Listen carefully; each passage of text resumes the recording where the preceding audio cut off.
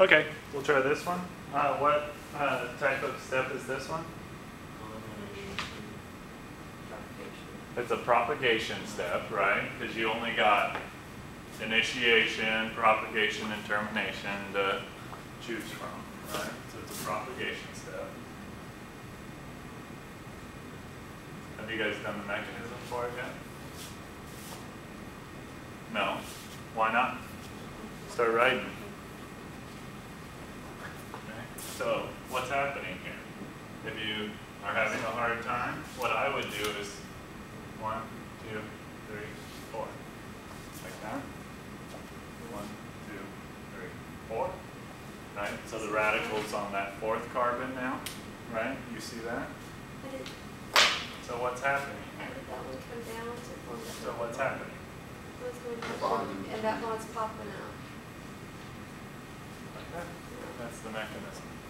So it's easy to see, right? It's easy to see, but I guarantee you, if you don't know how to do it, you try to start trying to draw this on a test without ever drawing it before, you get confused, okay? So it seems a lot easier than what it is. I would label my carbons, okay? Especially if I were in your shoes. Are there any questions about this one? What is it called? Oh, yeah, what is it called again? Elimination. Yeah, this is an elimination, right? So you're eliminating this piece here.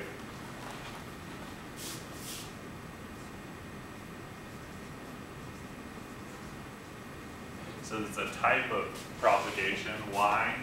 Because we got, whoops, I keep wanting to do that, one radical one radical. I think all of these in this problem are type of propagation steps, right? No, there's a term. Oh, is there a termination It's step? termination. C was termination. Yeah, and there's an initiation step too. F is an initiation step, right?